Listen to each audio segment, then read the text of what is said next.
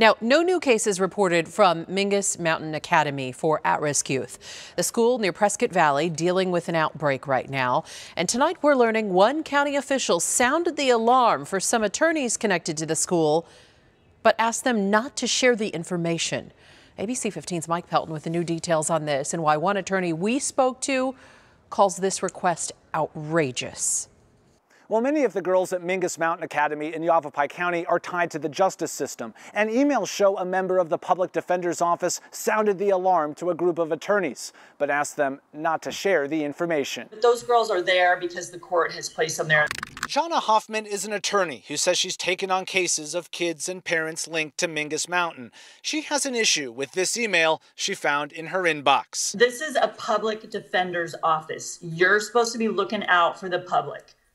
Bottom line. That's not looking out for the public. We found out about the outbreak from Yavapai County health officials on May 4th. Three days prior, a person by the name of Lourdes Todd sent an email. She has served as the chief of the juvenile division with the public defender's office and sent an email to a group of attorneys writing the public defender was made aware of a report of more than 40 infected youth and some staff. Then, in all caps, writing, quote, this information has not been made public yet, so I am asking that you not share it. It's a health crisis and keeping it secret, how is that benefiting anyone? The email goes on to read, quote, wanted to make you aware immediately so you can decide if you want to get tested. At the bottom, including information on how to do so. This whole email was just like you're in a certain privileged group and you get to have protection. You go and make sure you're okay.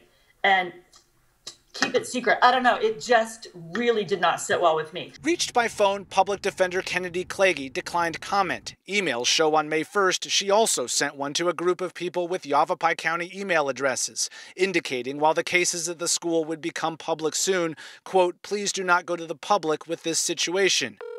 Your call has been forwarded. We also reached out to Lourdes Todd for comment, but have not heard back. Mike Pelton, ABC 15, Arizona. So